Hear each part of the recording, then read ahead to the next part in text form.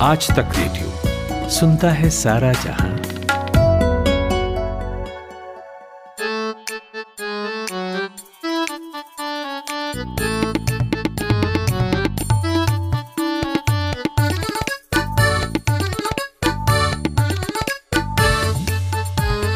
जितना बड़ा संघर्ष होगा, जीत उतनी शानदार होगी। एक समय में एक काम करो और ऐसा करते हुए अपनी पूरी आत्मा उसमें डाल दो। बाकी सब कुछ भूल जाओ।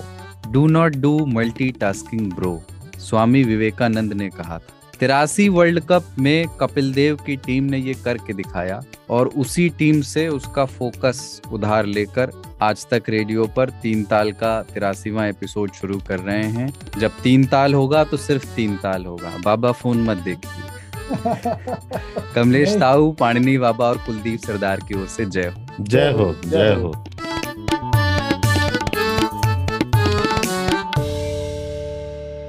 मैं केवल फ़ोन को इसने शून्य कर रहा था ताकि कोई चौथा इसमें बीच में आके क्रमांकुंचन ना करे। कुंचन और इस बार जो तीन तालिये आवाज़ में एक फ़र्क महसूस कर रहे होंगे तो उनको औपचारिक तौर पर ये बता देना भी सही मौका है बताने का कि ये बहुत अरसे के बाद तीन ताल तीन जगहों से बैठकर रिकॉर्ड हो रहा है क्योंकि बाबा और ताऊ दोनों अपने हेल्थ के सबसे अच्छे स्थिति में नहीं हैं दोनों अपने अपने घर पर हैं। और सिर्फ़ तीन ताल के लिए हम लोग जूम कॉल पर जुड़े हैं और ये रिकॉर्ड कर रहे हैं। मैं दफ्तर में हूँ और पिछले एपिसोड में ताऊ नहीं थे, अभी आ गए हैं और ताऊ आपकी अनुपस्थिति पर काफ़ी सह लेंगे, थोड़ा टाइप के मीम तैर रहे थे व्हाट्सएप ग्रुप पे। आपके दीवाने दीवाने हुए जा रहे हैं। प्लीज़ एड्रेस देम नहीं नहीं, मैं मैं पिछली बार नहीं था, उसका कारण कुछ बहुत भयंकर नहीं था। तबीयत थोड़ी खराब थी और मैं दो दो एनेस्थीसिया के मज़े लेकर डबल का मज़ा अलग होता है। एक से मेरा क्या होगा इस टाइप के सिचुएशन में? तो आनंद की नींद जो है ना जिस दिन ये रिकॉर्ड होता है उस दिन मैं शायद उठता था नींद मेरी खुलती थी और सेंटेंस पूरा करने के पहले फिर से वापस हो जाता था ऐसा मुझे लोगों ने बताया कि मैं ऑब्वियसली उठ जाने के बाद कुछ बोलना चाहता था पर वो वाक्य पूरा नहीं कर पाता था। आ, उसके बाद से मैं घर में ही हूँ स्वास्थ्य लाभ ले रहा हूँ। ताऊ की स्थिति ऐसी थी कि पर ठीक तो, हूँ अब। कुछ तो नाजुक मिजाज हैं हम भी और ये चोट भी नहीं है अभी। पर बाबा की एंट्री नहीं हुई है इस अस्वस्थ वाली लीग में ताज़ा ताज़ा है। आपकी सेहत के क्या हाल है बाबा? हमारी सेहत का हाल सब ठीक है। यही सब लोग शिकायत करते रहते थे कि बाबा जो है इतना नेगेटिव क्यों रहते हैं? हर चीज़ को लेकर के सबको पेलने में दुर्वासा बने घूमते रहते हैं। हमने कहा लो हम वो पॉजिटिव हो जाते हैं। तो थोड़ी सी पॉजिटिविटी है पता नहीं देखिए चार पाँच दिन सात दिन रहेगी लेकिन ये आज का जो एपिसोड है ना तिरासीवा हम्म। असल मायने में ये ऐतिहासिक है और ये ऐसे ऐतिहासिक है कुलदीप हम्म। कि तीन ताल का जब इतिहास लिखा जाएगा और उसमें श्रोता अपने प्रेम की दुहाई देंगे तो उस प्रेम प्रतिज्ञा की प्रेम परीक्षा का एपिसोड जो होगा वो ये वाला होगा कि तमाम राणा प्रतापों राणा सांगाओं ने अपने बदन में अस्सी अस्सी घाव होने के बावजूद खुद को समेट के माइक के सामने रखा और तुम्हारे लिए शनिवार का तीन ताल तैयार किया। तो सनद रहे सुनने वालों तुम हमें जितना प्यार करते हो उतना ही हम भी तुम्हें प्यार करते हैं। तो आपने तो शालीन भाषा में कहा वरना वो एक वायरल वीडियो का हिस्सा है तुम्हारे लिए करता हूँ कुत्तों। और इतिहास ये होगा बीच बीच में प्लीज़ आदत डाल लीजिएगा हाँ। सुनने वाले। तो ऐतिहासिक तो इस समय देश में भी जो हो रहा है ऐतिहासिक ही हो रहा है। मतलब बवाल भी इतिहास से जुड़े हैं और एक चीज़ मैं देख रहा हूँ ना डेमोक्रेसी में सवाल सवालों पर ज़ोर होता है कि सवाल करने चाहिए। आजकल जो सवाल भी सुनाई देते हैं उनमें बवालों की बू आती है और भीड़ अधिक बवालों की है सवाल कहीं सिसक रहे हैं कोने में पड़े हुए। और जब भी ऐसा होता है कि नहीं सवाल हावी हो रहे हैं डेमोक्रेसी में जो आने चाहिए। तो तुरंत नए बवाल वीरों को नई पर्चियाँ पकड़ा दी जाती हैं कि क्या ताजमहल कभी तेजो महालय था, बाईस कमरों में क्या है, कुतुब मीनार को विष्णु स्तंभ कहने में क्या समस्या है? और इसका ना विस्तार का एक पैटर्न है। मुझे हैरानी नहीं होगी अगर ये कहा जाने लगे कि बुलंद दरवाजे के नीचे बगलामुखी माता का मंदिर था या मैसूर पैलेस के नीचे डमरू का मन का दबा है जामा मस्जिद में सुंदरकांड कराना है। तो ऐसा तो नहीं है कि ये वाहियात मुद्दे पहले नहीं थे। मतलब इस तरह की जो, क्या इसको कहते हैं कि पक्ष ये दावा करता है कि कल्चरली हम अपने आप को रिसर्ट कर रहे हैं रिक्लेम कर रहे हैं रिक्लेमिंग हिस्ट्री वाला जो नारो लेकिन ये पहले इसकी फ्रीक्वेंसी इतनी ज़्यादा नहीं होती थी। अभी क्या थोड़ा मेन स्ट्रीम हो गया है। अभी आप देखें आसपास चार पाँच जगहों पर समानांतर बहसें चल रही हैं और अदालतों में मसले उठाए जा रहे हैं। अरे मुद्दे इतने सारे आ गए ना तो यही है कि जस जस सुरसा बदन बढ़ावा तास दुगुन कपि रूप दिखावा, तुलसी बाबा कहते गए। तो महँगाई की सुरसा, है ना? तमाम सारे और विषयों की सुरसा, जैसे जैसे बड़ी होती आती है, हनुमान जी उससे दुगना रूप धर लेते हैं। बहुत विशाल होते चले जाते हैं। तो ये साक्षात होता हुआ दिख रहा है। अब आप इसको इस तरह से समझिए कि फ़सल खड़ी है, उसमें आग न लग जाए, उसको काटा जाए कि नहीं काटा जाए, कि कैसे बांटा जाए, कि कैसे बांधा जाए, इस पे चिंता नहीं है। दूसरे के बैल के गोबर में अपना गेहूँ खोजा जा रहा है। दूसरे के बैल के गोबर में लकड़ी लेके खोद खोद के जो है कि या देखो हमार गेहूँ यहू महान, या देखो हमार गेहूँ यहू महान, देखो तुम्हार गैया हमार खेते में गए हमार गेहूँ है माँ तो ये जो आदत है ना, ये विचित्र है। और ये हमारे यहाँ आज की नहीं है, इसकी सर्वांगीणता ऐसे ही है, क्योंकि सत्तासीन व्यक्ति को लगता है कि जनता जो है शिशु है। पालने में है। वो सोहर से निकल ही नहीं पाई। वो सोहर गाने लगती है। बच्चा भूखा भूखा है या बच्चे ने अधिक खा लिया है, पेट में गैस बनी है बेचारे के, बच्चा व्याकुल है तो कभी थाली में चंद्रमा दिखाना है, ना, कभी झुंझुना बजाना है, कभी कुछ करना है तो शिशु अवतार में बच्चे को मान करके और सब अपने अपने तरीके से बरगलाने में उसको लगे आज की तारीख में अभी एक खबर मैं चार दिन पहले देख रहा था, हम लोग के यहाँ भी लगी। दुनिया में सबसे महँगी एलपीजी गैस मादरे वतन हिंदुस्तान में प्रति लीटर का जो रेट है ना एलपीजी का, हिंदुस्तान में। पेट्रोल दुनिया में तीसरा सबसे महँगा पेट्रोल हिंदुस्तान में बिकता है। अब को कह सकते है कि नहीं, पाकिस्तान ज़्यादा मांग है। लेकिन उसकी जब आप तुलना सापेक्षता में करेंगे, डॉलर के हिसाब से तो आप पाएँगे, नहीं, भारत में ज़्यादा आप दे रहे हैं। ये सब चीज़ें मुद्दे हैं ही नहीं। दूसरी तरफ़ से भी लोग चल रहे हैं। कुछ लोग कह रहे हैं कि नहीं, ये खंभा बचाना है वो गुंबद बचाना है ये मेरा है ये तेरा है। कुछ लोग दूसरी तरफ़ से लगे हुए हैं। श्रीलंका में ये हो रहा है। उन्होंने इसको नहीं देखा। अब अपने यहाँ भी यही होगा। पैटर्न को समझिए। हर तरफ़ लोग क्रोनोलॉजी समझाने में लगे दोनों तरफ़ से हुतु तुतु चल रहा है। असल मुद्दों के ऊपर चर्चा नहीं हो रही है। शहरों में और कस्बों में अभी भी ठेले से आम गायब है। इसके ऊपर कोई चर्चा नहीं हो रही है। बहुत बहुत विचित्र है। देखो हमको तो मतलब आनंद ही आ रहा है क्योंकि फिर मेरा भी ध्यान चला जाता उस तरफ़ है ना? लौट जाती नज़र उधर भी, भी नज़र क्या कीजिए? क्या करते? क्योंकि जो बाबा ने बताया कि एलपीजी या पेट्रोल मैं भारत के लोगों का के साहस का सम्मान करता हूँ और उनको धन्यवाद देना चाहता हूँ और उनको बधाई भी देना चाहता हूँ कि गजब का उनका वो है। मतलब देश की ऑब्वियसली जब सरकार आपको इन रेटों में कटौती करती है, जहाँ की भी सरकार दुनिया में करती है तो वो थोड़ा चोट लेती है अपनी तरफ़ से, ताकि जनता पे उसकी मार न पड़े। वो भारत की सरकार नहीं कर रही है, फिर भी जनता जो है वो मान के चल रही है कि नहीं, हमारा ड्यूटी है देना, हम उत्पाद नहीं करते इन चीज़ों का, उत्पादन नहीं करते तो हम क्या करें? हमें देना पड़ेगा, चाहे एक सौ पाँच रुपये का पेट्रोल हो, चाहे हज़ार रुपये का गैस हो। एक बात तो वो कि भारत की मतलब इतनी मज़बूत जनता और देश के साथ मुसीबत के टाइम में खड़ी हुई जनता उससे भी ज़्यादा आनंद आता है कि मैं देख रहा हूँ कि बहस सिर्फ़ इस बात पे हो रही है क्या क्या तोड़कर क्या क्या बनाया गया था। हकीकत ये है कि हर सब कुछ तोड़कर ही बनाया जाता है और ये देश ही नहीं बनता अगर हम चीज़ें नहीं तोड़ते तो। तो सब कुछ के नीचे अगर खोदेंगे तो कुछ ना कुछ मिलेगा। यही प्रकृति का नियम है। आ, नहीं कुछ मिलेगा तो ज्वालामुखी के अवशेष मिल जाएँगे।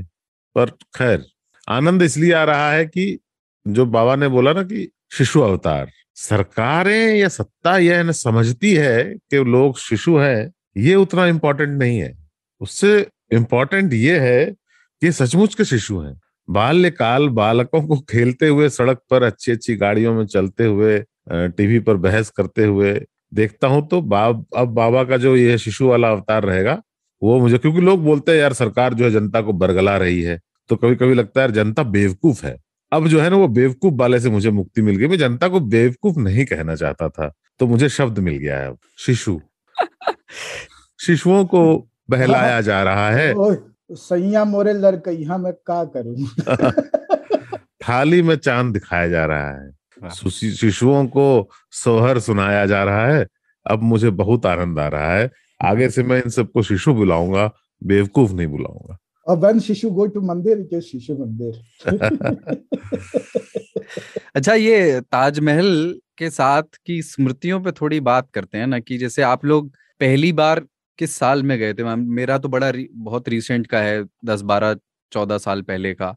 पर उस टाइम पे जब आप लोग ताजमहल गए थे तब भी वो ट्रेंड आ गया था कि गुंबद को चुटकी से पकड़ता हुआ दिखाए जाकर हाँ वो दिखाया बहुत पहले से मतलब हाँ तो- मैं भी पहली बार गया था तो जो उस समय कैमरा नहीं था मेरे पास तो वहाँ पे जो स्थानीय फोटोग्राफर होते हैं वो कहते हैं कि आप मतलब उनसे डील करनी पड़ती है आपको फ़ोटो एक घंटे में दे देंगे ऐसा टाइप का डील होता है। तो उसने भी यही कहा था कि आप जरा यूँ करें मैं आपकी एक तस्वीर ले लूँ बिल्कुल तस, हमारे वो तस्वीर मेरे पास है अभी भी। पाँच साल की उम्र में वो गया था तो वो फ़ोटो वैसे खिंचवा के आया था माता जी के साथ। माता जी हमारी अध्यापिका थी और स्काउट का कोई कैंप था आगरे में। तो वो वापस आया तो ऐसे ही फ़ोटो लेके आया वो घंटे भर में फ़ोटो खींच के दे देते हैं। लेकिन मैं ताजमहल केवल एक बार गया हूँ जबकि आगरा में कई मरतबे गया हूँ। और उसकी वजह यह है कि आज जब आपने कहा ना तीन ताल के लिए इन विषयों पर चर्चा होगी जो एजेंडा अभी तक आपने बताया नहीं है लोगों को तो मैं आज सोच के आया था कि आज मैं ताजमहल गिरा के ही तीन ताल से लौटूँगा। और मैं एकदम क्योंकि मैं आपको बताना चाहता हूँ कि ताजमहल की जो पहली छवि मेरे मन में है वो नकारात्मक है। मैंने कभी भी ताजमहल को पॉजिटिव तौर पे देखा ही नहीं। मेरे लिए ताजमहल एक वो साहिर की लाइन है ना कि हम हम्म ये चमनजार ये जमुना का किनारा ये महल ये मुनक्कश दरो दीवार ये मेहराब ये ताक एक शहनशाह ने दौलत का सहारा लेकर हम गरीबों की मोहब्बत का उड़ाया है मज़ाक मज़ाक। मेरे महबूब कहीं और मिला कर मुझसे। बिल्कुल। तो साहिर की ये लाइन तो बाद में आई और इसके पहले जो सबसे शुरुआती छवि थी जिसमें पता नहीं सच क्या है क्या नहीं है लेकिन एक बच्चे के श्यामपट पे आप जो लिखते हैं वो बहुत गहरा बैठता है। और इसीलिए जब हम अपने घरों में टीवी डिबेट्स में बच्चों के साथ देख रहे होते हैं तो मुझे लगता है कि इन बच्चों को आप खत्म कर देंगे अगर आपने अपने घर में टेलीविज़न बंद नहीं किया तो। क्योंकि मैं बता रहा हूँ कि बच्चे के दिमाग पे क्या होता है। जब आपको बचपन में ये बताया जाएगा पाँच छह साल की उम्र में वो चिल्ड्रंस नॉलेज बैंक पढ़ते हुए कि सेवन वंडर्स ऑफ़ वर्ल्ड में एक ताजमहल है। हाँ ये हमें भी बताया गया था। और फिर उसमें ये बताया गया जो उस किताब में नहीं था जो उसका कहते हैं ना डीब्रीफिंग हम्म। कि जब घर वाले उसके उपसंहार लिखते हैं आपके घर के बड़े तो हमने कहा अच्छा ये सेवन वंडर है दूध की तरह सफ़ेद है एकदम, कैसे बना होगा? तो बताया गया कि हाँ कई साल लगे थे बनने में, और ये हुआ, और वहाँ से संगमा मारा आया, और उसके बाद में जिन कारीगरों और कलाकारों ने इसको बनाया था, उनके शाहजहां ने हाथ कटवा लिए ताकि वो दूसरा ताजमहल न कायम कर सके। ये सुन के लगा कि यार, ये क्या जगह है? ये कैसी जगह है? तो मैं एक नेगेटिविटी के साथ में ताजमहल को लेके आगे बढ़ा अब मैं आता हूँ अपने असल दृष्टांत पे, जिससे मैं ताजमहल आज गिरा के जाऊँगा, है ना? श्रोताओं, मुझे माफ़ करना, मुझे इतना बोलना नहीं चाहिए, लेकिन मैं बोल के मानूँगा। मसला यूँ है कि कला जो है ना, उसको दो स्कूलों में बांट के देखा जाता है, कोर्ट आर्ट और फोक आर्ट। इसके ऊपर मैं पहले आख्यान दे चुका हूँ। तो जो फोक आर्ट है ना, लोक कला, वो उत्तर जीवित्व के हिसाब से बनती है। गाँव में एक आदमी मटका बनाता है तो उसमें पानी पीता है। गाँव में एक आदमी ओखली बनाता है तो उसमें धान कूटता है। वो उसके लिए आर्ट इफ़ेक्ट नहीं है। वो उसके लिए एक उपयोगिता की चीज़ है। लेकिन कोर्ट आर्ट जो होती है ना, उसमें उपयोगिता का लेना देना नहीं होता है। उसमें वैभव और विस्तार का प्रकटीकरण होता है। तो बड़े बड़े राजप्रासाद बनाना बड़े बड़े बगीचे बनाना बड़ी बड़ी फुलवारियाँ बनाना बड़े बड़े महल, मकबरे बनाना, स्तंभ बनाना, ये सारी चीज़ें जो हैं, ये आपके वैभव का प्रकटीकरण होता है। आपकी समृद्धि का, आपके कौशल का प्रकटीकरण होता है। ताजमहल का कोई उपयोग नहीं है। ताजमहल एक खूबसूरत चीज़ है। लेकिन इसका कोई उपयोग नहीं। ताजमहल से आप कुछ नहीं कर सकते मोहन मोहनजोदाड़ो की खुदाई से निकली हुई जो मिट्टी की बैलगाड़ी है, उसको कोई बच्चा उसमें डोर बाँध के खींच के चलाता रहा होगा। उसकी उपयोगिता थी ताजमहल की नहीं है। जब हम ये कहते हैं ना कि ताजमहल को बचा लो, क्योंकि ये कला का सबसे उन्नत विकल्प है तो मैं उनसे कहता हूँ कि नहीं, ये कला से भी पहले क्लास का विकल्प है। ताजमहल एक क्लास की चीज़ है। अगर इतिहास को बचाना होगा तो मेरे लिए उन गाँवों को बचाना भी उतना ही ज़रूरी है। उन संसाधनों को बचाना भी उतना ही ज़रूरी है जितना ताजमहल को बचाना ज़रूरी है। और अगर संसाधन छिन गए हैं, मेरे जंगल और मेरी नदियाँ छिन गई हैं, मेरे गाँव उजाड़ करके वहाँ पे सड़कें या कारखाने या बड़े बड़े नए शहर बसा दिए गए हैं तो मुझे ताजमहल बचाने में अब कोई रुचि बची नहीं है। जैसे बामियान खत्म हुआ है, वैसे ही विचारधाराएँ ताजमहल को खाती हैं तो खा जाएँ, क्योंकि ताजमहल से पहले और ताजमहल के बाद बहुत सारी कला दीर्घाएँ खाई जा रही हैं खाई जाएँगी और खाई जा चुकी हैं। मैं सामान्य मानविकी के साथ खड़ा हूँ। मुझे ताजमहल से सिंपैथी नहीं है मुझे रानियों के लहंगों को घरों में सजा के रखने की कोई तबीयत नहीं है। मैं नंगी घूम रही औरतों को कवर करके रखना चाहता हूँ। मुझे कभी कभी ना आप कभी कभी इस तरह का स्टैंड और इस तरह की भाषा में लेते हैं मुझे जेएनयू प्रेसिडेंशियल स्पीच याद आ जाती है। तो हमारी नौकरी खाओगे हम पढ़े बी एच यू में है ना? एक बार मैं यहाँ से हड़प्पा के उन खोदने वालों को संबोधित कर रहा हूँ। ये विद्रोही की कविता है दरअसल जिसकी आप चर्चा हाँ। कर रहे हैं और इससे भी कमाल की बात यह है कि जेएनयू की प्रेसिडेंशियल डिबेट में कोई बच्चा ये बात बोल नहीं पाया क्योंकि वो हमेशा क्यूबा के रेफरेंसेस में फंसे रह गए। उन्होंने चे का रेफरेंस दिया वो मोहन जुदालो तक आ ही नहीं पाए वो भगत सिंह तक आ ही नहीं पाए। पर ये कहते हैं कि ताजमहल के तैयार होने के बाद शाहजहां ने इसकी हर दरो दीवार कंगूरे और मीनार को सूक्ष्मता से कुछ समय तक देखा और देखने के बाद ऐसे अपने सिर के सिर पर दोनों हाथ लगा करके बोला कि मज़ाक मज़ाक में यार खर्चा बहुत हो गया। नहीं बहुत खर्चा हो गया। दूसरा जो है ना जो ये मतलब हाईकोर्ट ने कमाल की चीज़ कही है। ये तो बात हो गई कि ताजमहल को मैं कैसे देखता हूँ एक लार्जर स्पैम में। ये बहस हो रही होती कि नहीं हो रही होती ये इससे इतर। लेकिन जहाँ तक इनकी बात है जो कह रहे हैं कि हम ताजमहल को क्लेम करना चाहिए वो हाईकोर्ट के जज ने बहुत कमाल की बात कही। उन्होंने कहा पढ़ा लिखा करो थोड़ा सा। एम ए पीएचडी का ज़िक्र किया हाँ उन्होंने कहा एम ए कर लो पीएचडी कर लो इतिहास में। अब उनको हालाँकि नहीं पता है जज साहब को कि अधिकतर लोग एम ए किए हैं हिस्ट्री में वही सब लोग राजनीति में हैं और आकर के इस तरह की बातें कर रहे हैं। लेकिन मूल बात यह है हमको एक बात यह सुनना आती है कि अगर इमरान को मैं हिंदू बनाऊँगा तो मैं उसका नाम आर्यन ही क्यों रखूँगा? या अगर आर्यन कभी मुसलमान बनेगा तो वो इमरान ही क्यों नहीं बनेगा? वो इकबाल क्यों नहीं बन सकता? फफीकुर रहमान क्यों नहीं बन सकता है? वो तबरेज आलम क्यों नहीं बन सकता है? भाई तेजो महालय से ही नाम निकाल के ताजमहल रखेंगे आर्याणाम से ही नाम निकाल के ईरान रखेंगे। ये कंपल्सन कहाँ से आ गया है? कि तेजो तो महालय था। पीएनओ के दिमाग की उपज थी। हम्म। ज़बरदस्ती का डॉट मैट्रिक्स कनेक्ट कर रहे हैं ज़बरदस्ती का। अरे, आपकी खुरखुंद थी, आपने अलेक्जेंडर को अलक्षेंद्र बनाया क्योंकि हिंदी फोनेटिक जस्टिस की भाषा है।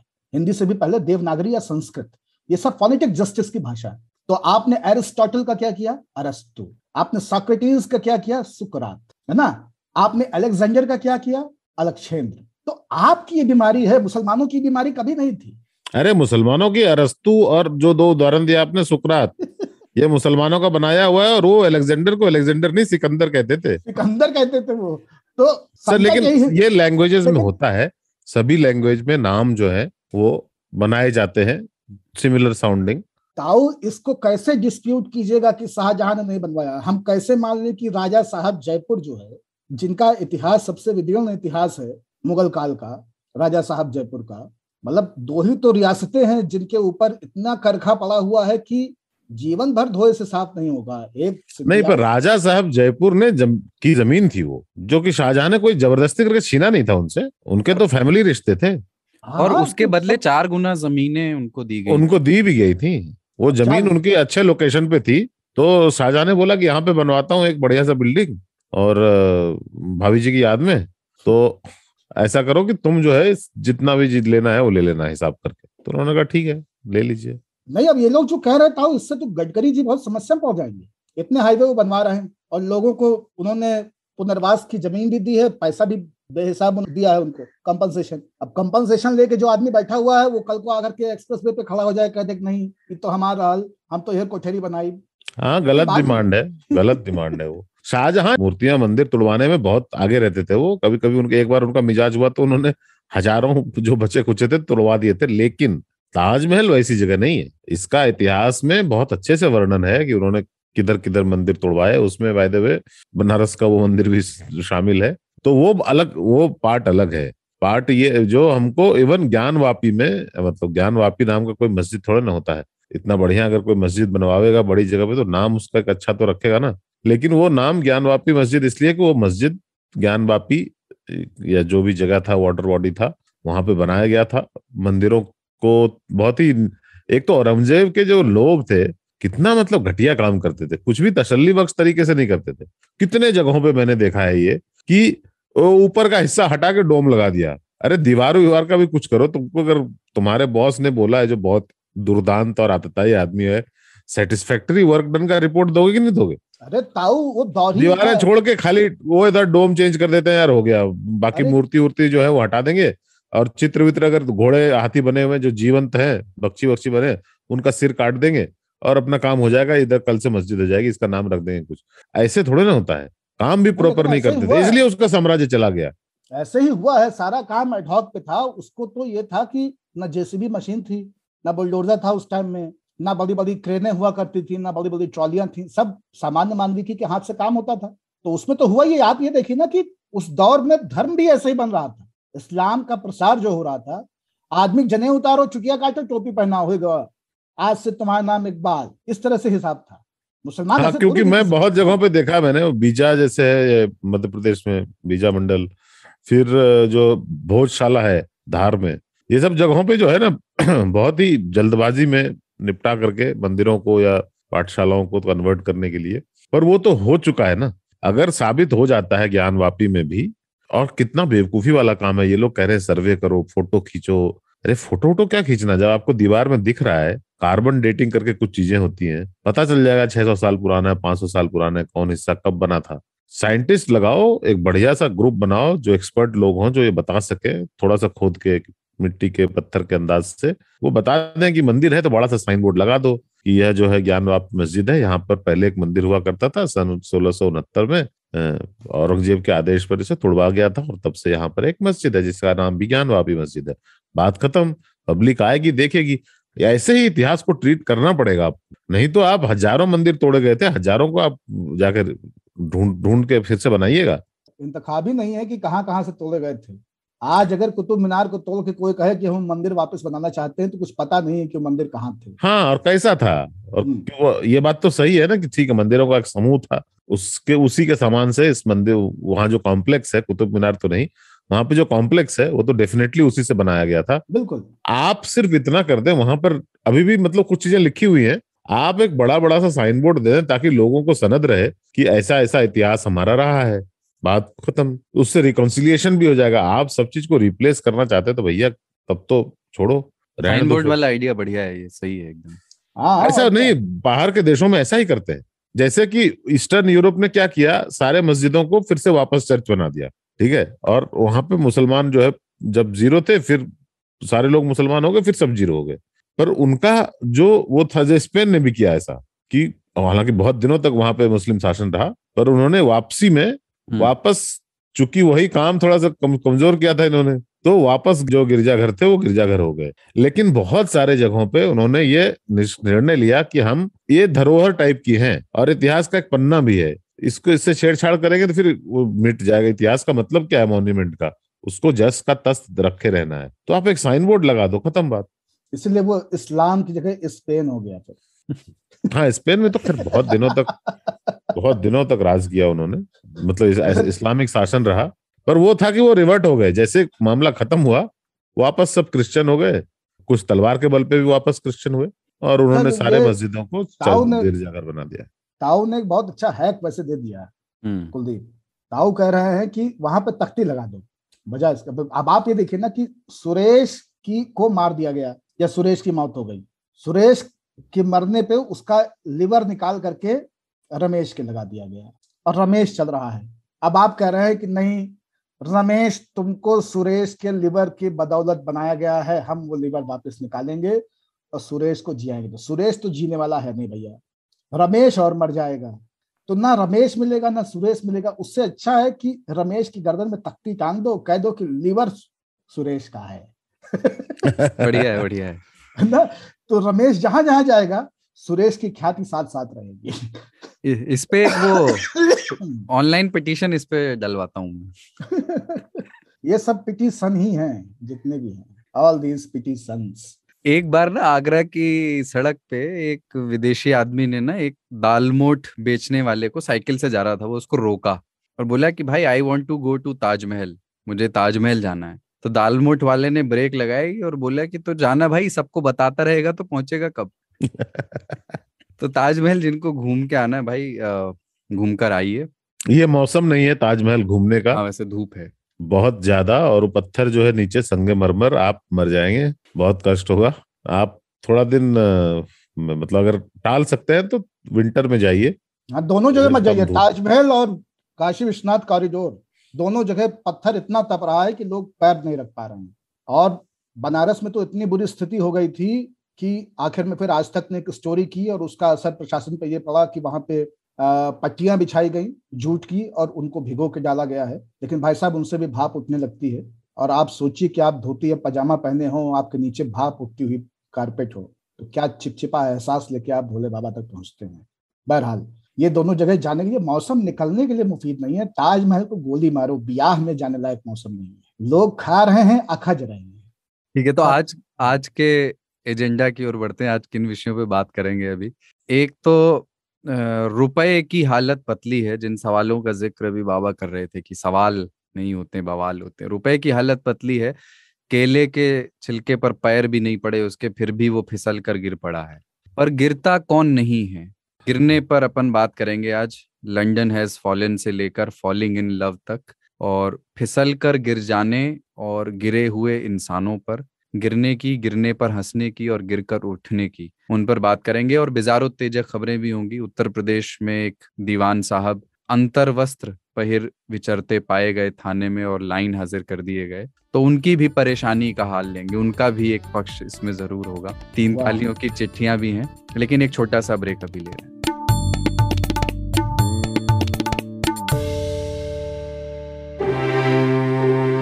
भाषा के ग्रामर से मिले कब क्यों कैसे कहा किसने ये ऐसे शब्द हैं जो सेंटेंस में जुड़ जाएँ तो उसे सवाल बना देते हैं। और सवालों के बारे में आइंस्टीन ने कहा था the important thing my friend is not to stop questioning At the stroke of the midnight hour, when the world sleeps, I'm gonna make him an offer again. सत्ता का खेल तो चलेगा सरकारें आएँगी जाएँगी मगर मेरे कमरे में किताबों के सिवा कुछ भी नहीं।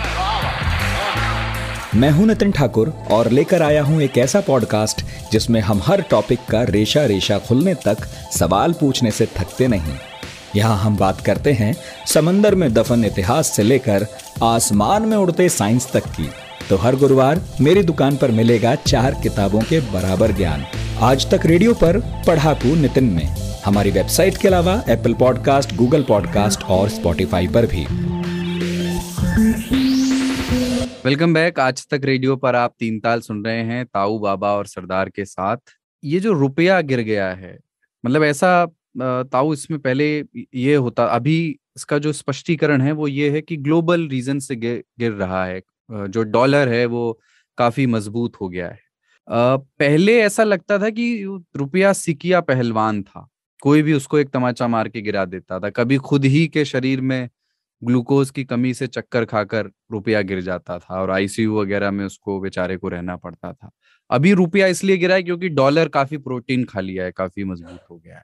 तो ये क्यों भाग मतलब दुनिया रुपये के पीछे भाग रही है इसलिए थक कर गिर गया है ये? बाय द वे इसको, इसका गिरना भी अच्छा होता है।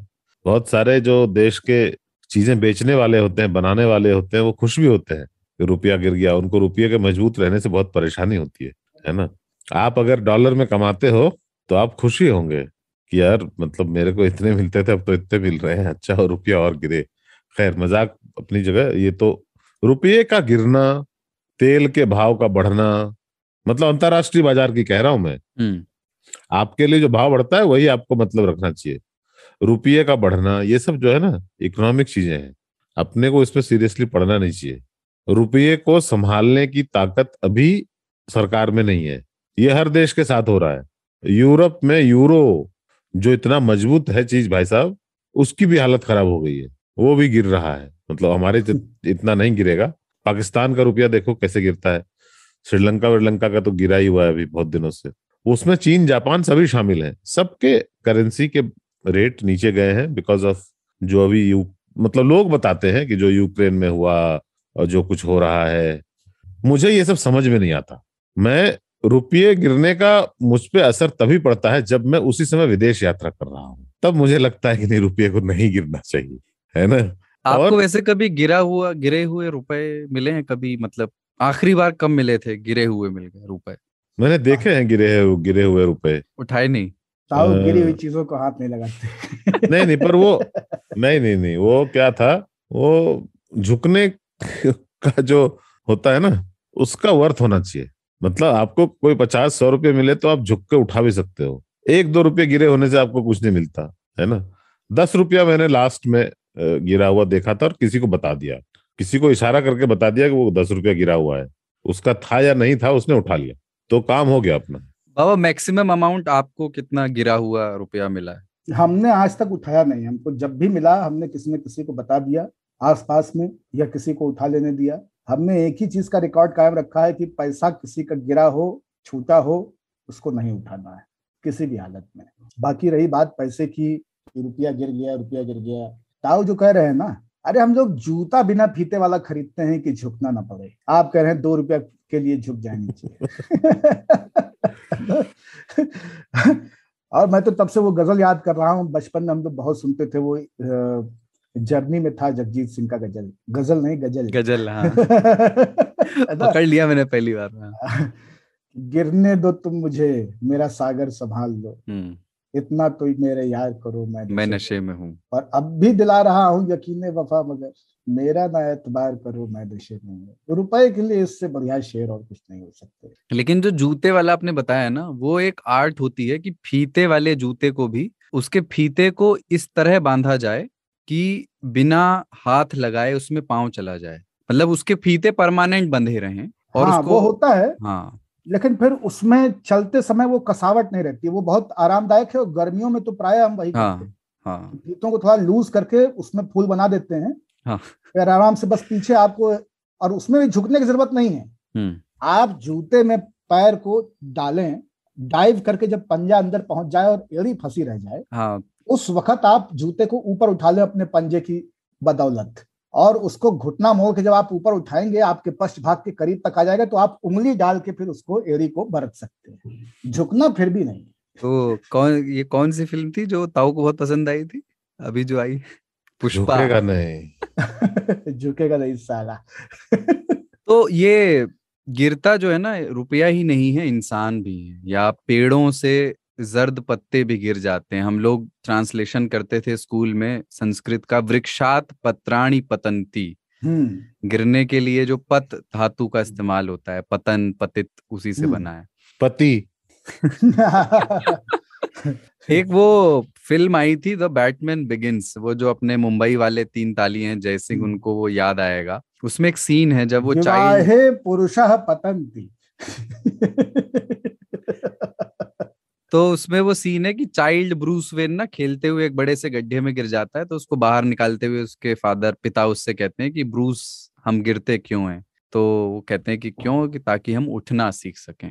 तो ये जो गिरने का वांग्मय है कि गिरना क्यों ज़रूरी है कभी कभी जीवन में, और गिरने से आप क्या सीख सकते हैं? मैं चाह रहा था कि थोड़ा इस पर भी बात हो, और गिरने का जो सबसे वलनरेबल एज है हमारे जीवन में वो कौन सी है? वो टीन एज है कि वो टीन एज के बाद जवानी की एज है? पहले प्यार में आदमी ज़्यादा गिरता है नौकरी की तलाश में ज़्यादा गिरता है या उसका गिरना वयस्क होने से बहुत पहले ही शुरू हो चुका होता है। तो वो गिरने से जुड़ी मेमोरी या जो तस्वीरें हैं बाबा वो क्या हैं? जो पहली बार समझ में आती है। हाँ गिरना बहुत अवश्यम भावी चीज़ है और गिरने को आ, उसकी सार्वभौमिकता को ऐसे आप समझिए कि जो कुछ उठा है वो गिरा है। उदय हम्म। होता सूर्य अस्तांचल तक नहीं जाएगा तो उदय ही नहीं होगा। अब आप विज्ञान की दृष्टि से बताते रहिए कि नहीं, भाई साहब, कुछ उदय या अस्त होता नहीं है, लेकिन भाई साहब, लोगों को दिखता है।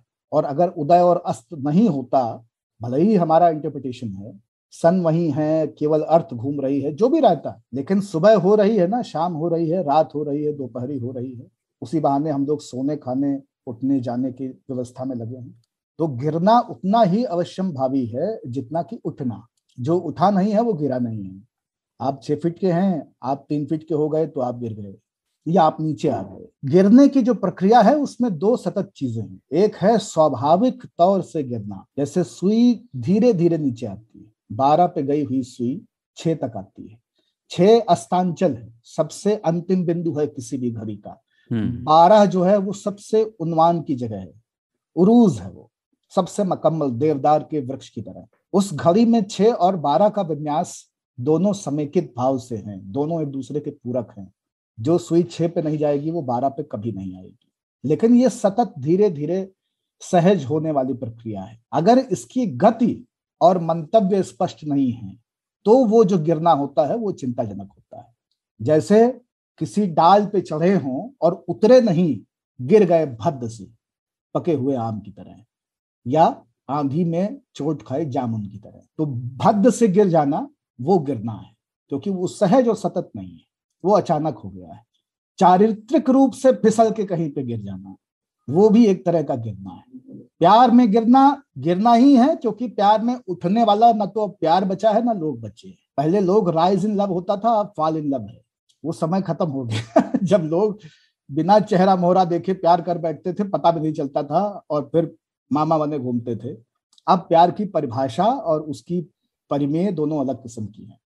और कुछ होता है आगे चल के कि सामर्थ्य नहीं होने से गिरना जैसे आप रेस में भाग रहे हैं आप सौ मीटर के धावक हैं चार सौ वाली में उतर गए और हम्म। तीन सौ मीटर तक भागने के बाद आप गिर पड़ गए क्योंकि अब सामर्थ्य नहीं बचा है। ऐसा ही होता है बुढ़ापा जब आपके पास सामर्थ्य नहीं होता है और आप गिर जाते हैं। आपको लगता है कि आप उठ के चीनी का डिब्बा उठा लेंगे लेकिन चीनी के डिब्बे तक पहुँचते पहुँचते आपके पैर कांपते हैं और आप गिर जाते हैं। बचपन में और बुढ़ापे में गिरना इतना सालता नहीं है, ना इतना कष्ट देता है। सबसे बुरा गिरना होता है उस अवस्था में गिरना जब आप सबसे ज़्यादा उठे हुए माने जाते हैं। जब आपकी देह, आपका आत्मविश्वास, आपका कौशल, आपकी क्षमताएँ सब अपने चरम पे होती हैं। तो पंद्रह बीस की उम्र से लेकर के पचास तक की पचपन तक की आयु में जो व्यक्ति सबसे जो सबसे मज़बूत अवस्था है आपके जीवन की सबसे प्रोडक्टिव अवस्था है आपके जीवन में हम्म। उस वक्त का गिरना जो है उस वक्त का टूट जाना उस वक्त का गिर जाना वो सबको सालता है उससे सब दुखी होते हैं। जवान मौत इसीलिए सबसे खतरनाक होती है। बच्चा मर जाता है तो लोग उसको उसके संताप से निकल, आते हैं। बुढ़ा मर जाता है तो त्रयोदशा के बाद में लोग डीजे पे नाच भी देखते हैं। जवान कोई मर जाता है तो सालों तक वो ब्रह्म राक्षस बन करके आपका पीछा करता है और आप उसकी चेतना में गलते रहते हैं। इसलिए एक व्यवस्थित क्षमतावान और युवत्व प्राप्त कर चुका जो गृहस्थ और बानप्रस्थ में जी रहा व्यक्ति है उसका गिरना सचमुच में गिरना है और वो सबसे ज़्यादा प्रभावित करता है। बाल्यकाल में और संन्यास आश्रम में गिरना ये उदय और अस्तांचल वाली वेलाएँ हैं इसमें कोई फ़र्क नहीं पड़ता। तो बाबा मैं जो मैं कह रहा था ना बाबा बोलते हैं ऐसा लग रहा है कि इसके पहले मैं बोल रहा था कि ऐसा लग रहा है कि जेएनयू की प्रेसिडेंशियल डिबेट में खड़े होकर बोल रहे हैं और अभी बोल रहे थे तो मुझे लगा कि अस्सी घाट पे बैठे हुए हैं। और बता रहे हैं कि तुम्हें मेरे ही पास क्यों आना चाहिए? लेकिन इसमें गिरना ना एक आपने बड़ी इंटरेस्टिंग बात की कि जो ग्रेविटी ड्रिवन फॉल है वो नेचुरल है और वो प्रक्रियात्मक है। छह पर आएगा नहीं तो वापस छह बारह पे जाएगा नहीं। बिल्कुल और छह तक आने में उसको चार पाँच पे भी आना है ना धीरे हाँ हाँ वो धीरे धीरे होगा। हाँ। तो ग्रेविटी का पता तो न्यूटन ने लगाया पर अर्थक्वेक का पता राजीव गांधी ने लगाया था। जब उन्होंने मतलब न्यूटन ने सेब को पेड़ से टूटकर धरती पर गिरते देखा और राजीव गांधी ने ये दुनिया को बताया कि जब बड़ा पेड़ गिरता है तो धरती हिलती है। हाँ उन्होंने न्यूटन के तीसरे सिद्धांत की व्याख्या की थी क्रिया प्रतिक्रिया का नियम। हाँ। The reaction to the gravity आओ एक चीज़ है जैसे ये हम लोग जैसे ये फिसल के जो गिरने वाली जो बात है ना कि गीले फर्श पर फिसल गए खेलकूद में सबके घुटने फूटे मैं आखिरी बार जब फिसल कर गिरा था जैसे जैसे वैसे हमारी उम्र बढ़ती जाती है, हमारा फिसल कर गिरना कम होता जाता है। हम अतिरिक्त सतर्क हो जाते हैं, जीवन में भी और अपने चलते हुए भी।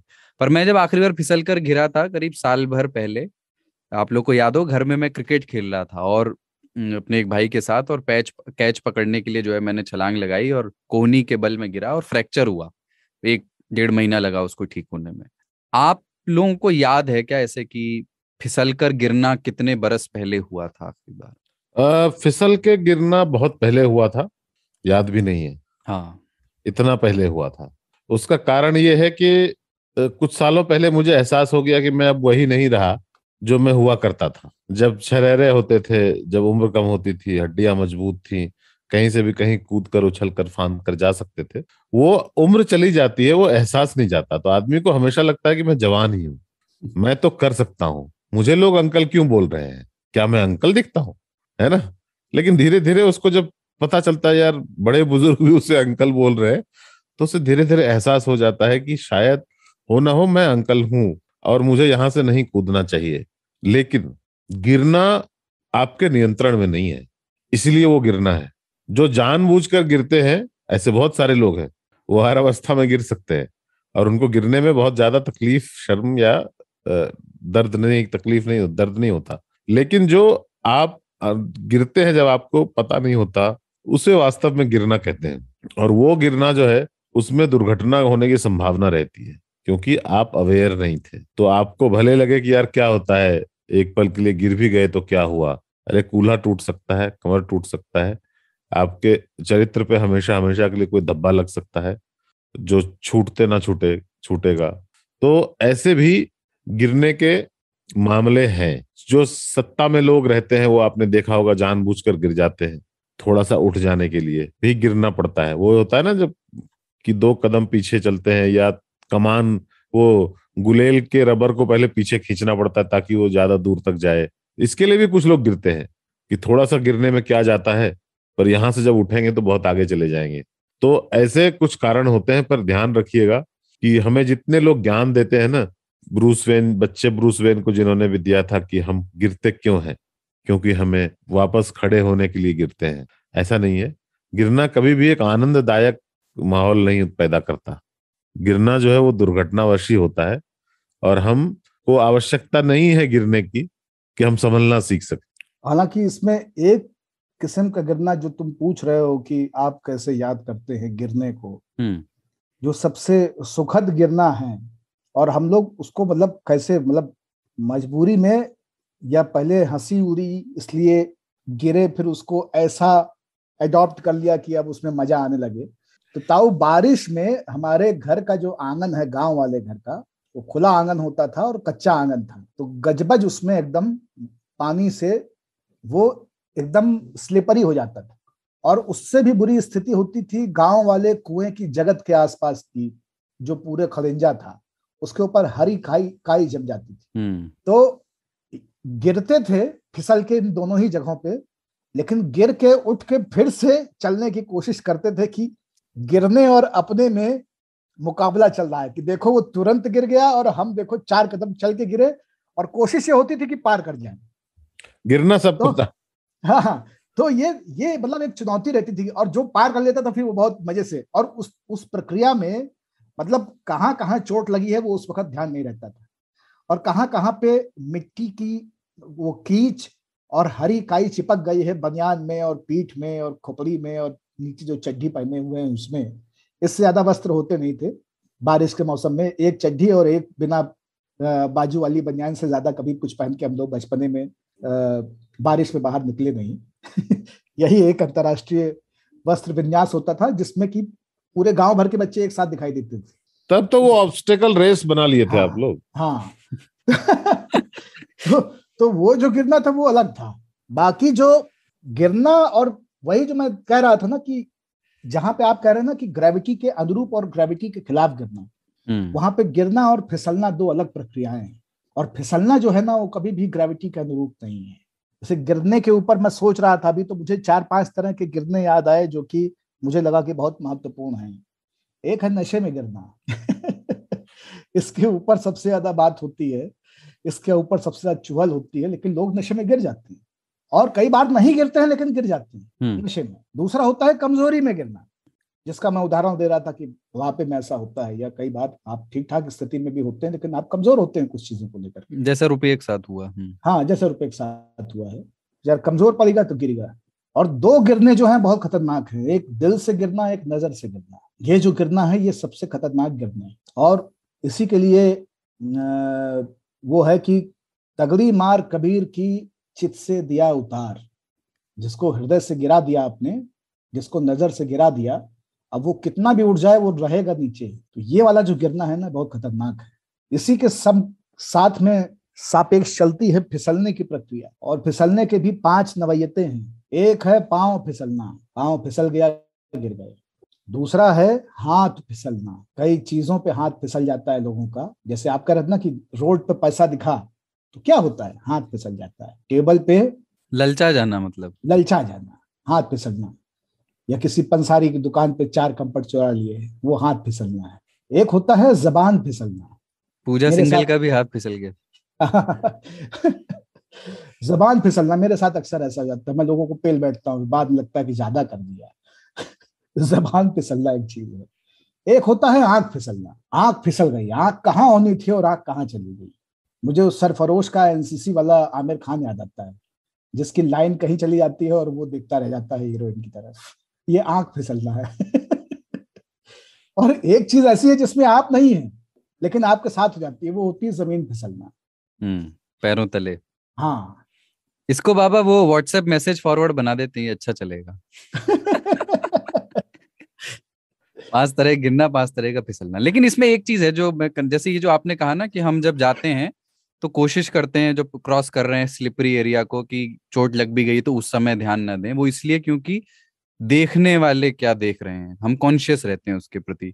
और बहुत सारे लोगों को गिरने वाले को देखकर किसी को गिरता हुआ देखकर हँसी आती है। एक ये बहस है कि इस पर हंसे या नहीं क्योंकि कभी कभी लगता है कि यार इसमें हंसने जैसा है ही क्या? देखो और कभी कभी ऐसा लगता है कि अचानक ना ऐसा लगता है बाबा अचानक अगर हमारे होंठ एक्सपेंड होकर थोड़ा सा हंस भी लिए तो भी क्या हो गया? इतनी क्या बड़ी बात हो गई कि हंस के मदद करना चाहिए। अगर कोई हाँ, बूढ़ा व्यक्ति गिर जाए तो पहले हंस ले। और उसके बाद इमीडिएटली उसकी मदद करें। क्योंकि हँसी तो आना ही है।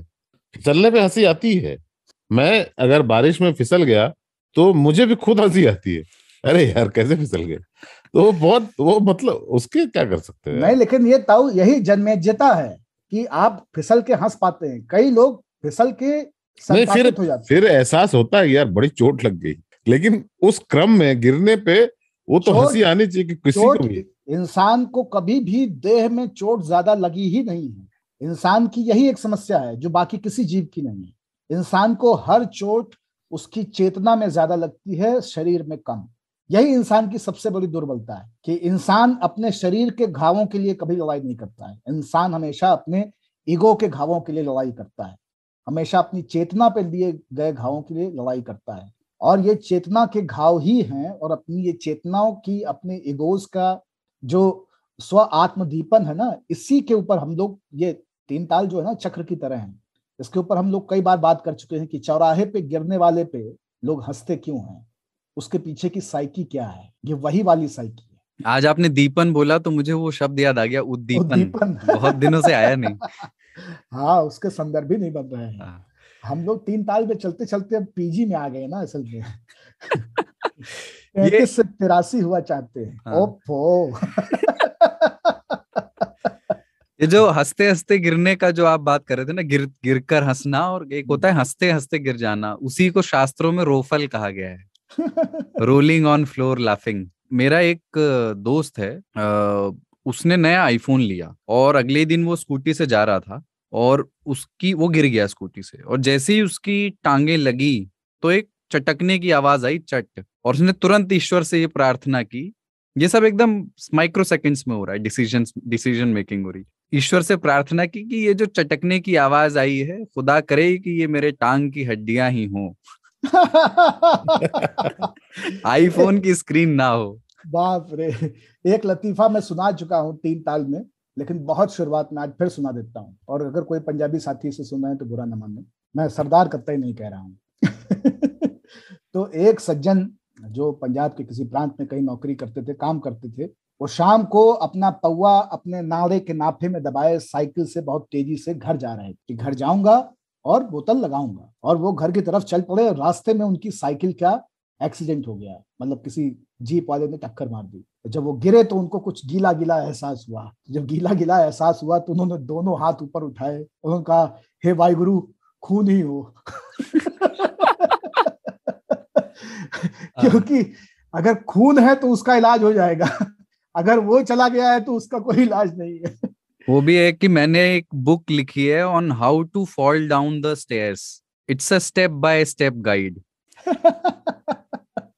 एक आखिरी चीज़ मैं इस संदर्भ में करना चाहता हूँ बात फिर अपन अगले विषय की ओर बढ़ेंगे। वो ये कि जैसे ये आँखों से आँसू गिरे या ओस गिरे आसमान से स्वतः स्फूर्त है, आपने वो, उसका ज़िक्र भी कर दिया। कोई अतिरिक्त प्रयास नहीं करता आदमी इसके गिरने के लिए और ये नैसर्गिक है। लेकिन एक एक और इंसान का गिरना है, जिसका आपने हल्के से ज़िक्र किया इसके पहले, वो है बुलंदी पर पहुँच करके बुलंदी से गिरना। जैसे, या मूल्यों से, विचारों से, नैतिकता से, बौद्धिकता के धरातल से फिसल कर गिरना। और इसके लिए इंसान को खुद ही हरकतें करनी पड़ती, कर्म करने पड़ते हैं, खुद ही एक तरह से मेहनत करनी पड़ती है खुद ही लापरवाही बरतनी पड़ती है। और आ, क्या ऐसे में जैसे वो एक बात है ना पता नहीं किसका वो शेर है कि बुलंदी पर पहुँचना कमाल नहीं होता बुलंदी पर ठहरना कमाल होता है। तो ये जितने भी ये पतनोन्मुख लोग जो हैं वो बुलंदी पे पहुँचने के बाद ऐसा क्यों होता है कि एक प्रोसेस है कि वहाँ बहुत ज़्यादा देर तक बहुत सारे लोग नहीं टिक पाते? बड़े बड़े साम्राज्यों का पतन हुआ है सोवियत यूनियन से लेकर रोमन एम्पायर और ऑटोमन एम्पायर ये सब हमने सुना है। दूसरा एक सेडिस्टिक प्लेजर भी कई बार मिलता है, बुलंदी से गिरते हुए देख कर किसी किसी की मोनोपोली अगर खत्म होती है कि ऑस्ट्रेलिया क्रिकेट की दुनिया का बादशाह था तो उसको हारते हुए देखने में उस समय आनंद अलग था। कुछ लोगों को अभी भी बहुत आनंद आता है जब महेंद्र सिंह धोनी और विराट कोहली सस्ते में आउट हो जाते हैं या उनकी टीम हारती है कि ये एक मोनोपोली खत्म होनी चाहिए, इसमें एक रोमांच और हर्ष वो महसूस करते हैं। क्या बुलंदी पर पहुँचे हुए व्यक्ति का नीचे आना उसकी प्रक्रिया धीमी हो सकती है? उस प्रोग्रेशन को आप स्लो डाउन कर सकते हैं। पर क्या वो भी नैसर्गिक ही है? होगा ही। बिल्कुल, वो नैसर्गिक ही है, क्योंकि वही बात ही पूरी यही है ना कि ऊपर कुछ भी टिकने वाला नहीं है। और ऊपर टिक के क्या होगा? ऑक्सीजन नहीं है भैया, नीचे आना ही पड़ेगा आखिर में। ऊपर जाओगे तो केवल युधिष्ठिर पार कर पाएँगे, कुकुर के साथ में, बाकी सब गल के वहीं खप जाएँगे, है ना? और वाजपेयी जी कहते कहते गए कि इतनी ऊंचाई मत देना कि मैं उन्होंने कहा कि मैं छह साल प्रधानमंत्री रहूँगा, बस उससे ज़्यादा नहीं। उससे ज़्यादा ऊंचाई मत देना। उससे ज़्यादा ऊंचाई जिसको दी है, उसका आठ साल पूरा हो गया, दो साल बच्चा है। तो कोई उनसे और ऊपर गया है। अब इसमें यह थोड़ी कहा जा सकता है, आप मोदी जी से पूछे कि वो श्रेष्ठ हैं कि वाजपेयी जी श्रेष्ठ थे। तो वो बिल्कुल कहेंगे कि वाजपेयी जी श्रेष्ठ थे। लेकिन वाजपेयी जी तो छह साल रहे प्रधानमंत्री। मोदी जी आठ साल रहे और दो साल और रहेंगे, उसके बाद हो सकता है पाँच साल और रहे। पंद्रह साल पूरे करके जाए। इसका ये तो तात्पर्य नहीं है। तो किसका थ्रेश कितना है? कौन कितनी देर रहने वाला है? बहुत पारिस्थितिकी जन्य है। बहुत सारे अच्छे नेता हो करके, बहुत सारे अच्छे कौशल वाले योद्धा हो करके भी कभी राजा नहीं बन पाए नृप नहीं बन पाए, महान क्षमतावान होते हुए। तो उनसे वो नहीं हुआ। और जिनसे हो सका, उन्होंने उसको अर्जित किया और वो जितने समय तक टिके रह सकते थे, टिके रहे। हमारे समय में जब राजनीति हम लोग समझ रहे थे तो राजनीति में ठाकुरों के चेहरे के तौर पे यूपी में एक चेहरा इमर्ज हुआ अमर सिंह का। अब अमर सिंह से बातचीत करो, मिलो, बतियाओ, उनको देखो, लगता ही नहीं था कहीं से ठाकुर तो क्या अमर सिंह को हम मान लें कि सबसे best representation of Kshatriya from UP जो है वो अमर सिंह है। ऐसा तो नहीं था। लेकिन वो थे ऐसी स्थिति में, ऐसी परिस्थिति में, ऐसी पोजीशन में कि वो कह सकते थे कि हाँ क्योंकि मैं पावर कॉरिडोर्स में इतने महत्वपूर्ण पद पे हूँ तो मैं रिप्रेजेंट कर सकता हूँ। और उनको उसी तरह से फिर दिखाया जताया जाता रहा। उनके हाथ में तलवार पकड़ाई जाती थी तो मुझे बहुत सहज नहीं लगता था देख करके। अमर सिंह हाथ में गिलास पकड़े हुए अच्छे लगते थे तलवार पकड़े हुए नहीं एकदम अलग किस्म के इंसान थे बहुत ही मतलब छाछ वगैरह ज़्यादा पीते थे हाँ तो छाछ वाला गिलास हाथ में ऐसे ऊपर से टिश्यू पेपर लगा करके पकड़ते थे वो पार्टियों में या संतरे का जूस वगैरह। क्यों छाछा लीडर कर रहे हैं आप लोग? ताऊ ठाकुर तेरा ये अपमान। नहीं सहेगा हिंदुस्तान। तो ये ये इसका कोई देखो इसका कोई सेट रूल नहीं है कि कौन ऊपर जाएगा और कौन कितने समय तक ऊपर रहेगा। और जो बहुत ऊपर तक गए हैं वो श्रेष्ठ थे। या जो बहुत समय तक ऊपर रुके रहे उन्होंने कोई छल नहीं किया था और जो शॉर्टकट लेके ऊपर गए उन्होंने दरअसल छल किया था। आ, हाँ, कोई व्याकरण नहीं है। इसका कोई व्याकरण नहीं है इसकी कोई एल्गो है नहीं इसकी। आजकल ये सब चल रहा है ना एल्गोरिदम एल्गो हाँ तो इसकी कोई एल्गो है नहीं। ये सहज होती रही चीज़ें हैं। और इसीलिए मैं कहता हूँ अभी आज एक एक कविता है नागार्जुन की उसको मैं सबको कहूँगा कि आप लोग समय निकाल के ज़रूर पढ़ें।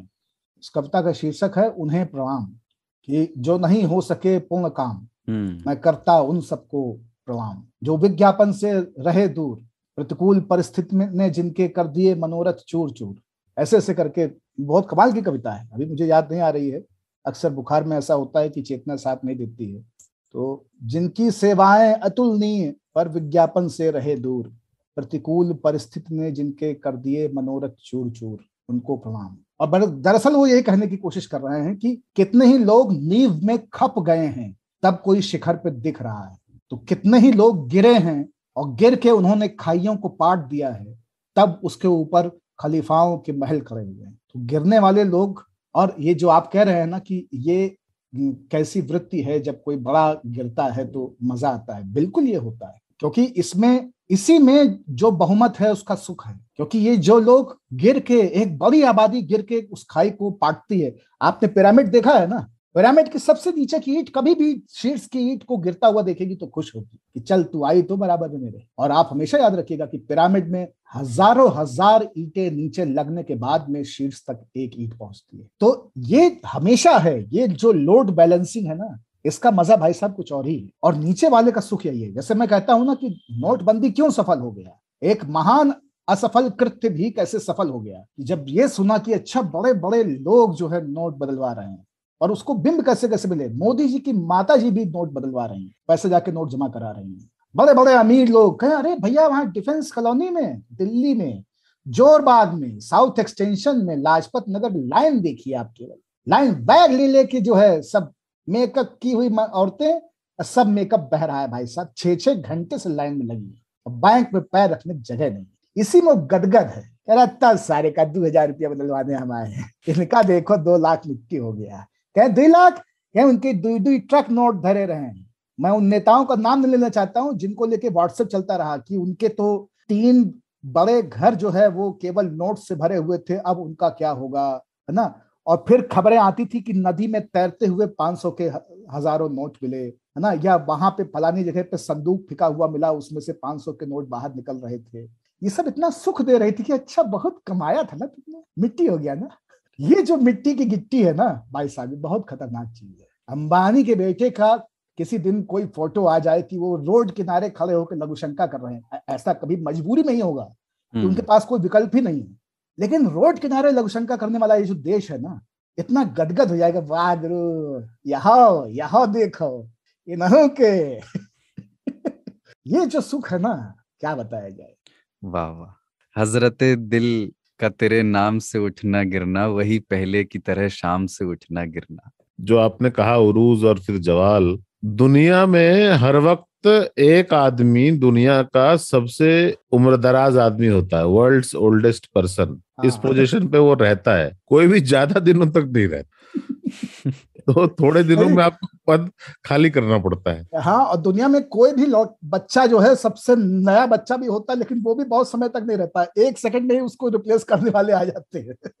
तो तीन ताल में अब वक्त साड्डा जीवन उच्च बाज़ार का। संक्षेप में इस पे बात करेंगे। उत्तर प्रदेश के महाराजगंज से ये खबर आई है। कुछ दस बारह दिन पहले की घटना है नौतनवा पुलिस थाने की। वहाँ एक दीवान साहब हैं गंगोत्री यादव। वो एकदम बेधड़क अंडरवियर पहनकर जो है थाने के कैंपस में घूम रहे थे। किसी ने उनका वीडियो बना लिया और सोशल मीडिया पे डाल दिया और उस वीडियो में वो बस थाना कार्यालय की ओर जाते हुए दिख रहे हैं और कुछ देर बाद कार्यालय से निकलकर इधर उधर बाहर टहल भी रहे हैं। तो जब ये वीडियो सोशल मीडिया पे आ गया तो वहाँ के जो एसपी साहब हैं कौस्तुभ कुमार, उन्होंने दीवान साहब को लाइन हाजिर कर दिया। मैं थोड़ा इस मामले में मे, मतलब मेरी थोड़ी सहानुभूति है उनसे। कुछ कह लीजिए। हाँ आप कुछ कह रहे हैं बाबा? मैं इसमें ये चीज़ कहना चाह रहा हूँ आप इसके पहले कुछ कहें। हम्म। इस देश का विभाजन मोबाइल कराएगा। ये जो ये वीडियो बना के डाल दे रहे हैं। जो वीडियो बनाने वाली जनता है ना ये इतने नराधम हैं ये इस देश को खा जाएँगे भाई साहब। जो आदमी उस दीवान का वीडियो बना रहा है पहली बार दीवान कच्छा पहन के घूम रहा है। यूपी का कौन थाना कोतवाली ऐसा है जहाँ पे कच्छा पहन के दीवान या गमछा लपेट के भाई साहब ये कल्चरल चीज़ भी है। आपको लगता है ना कि अश्लील है? उनको नहीं लगता। वहाँ पे लोग बिल्कुल सहज रहते हैं क्योंकि अंडरवेयर और गंजी पहन के घूमना भी माना जाता है कि वस्त्रों में थे। ये नहीं ये हकीकत है। हाँ, हाँ।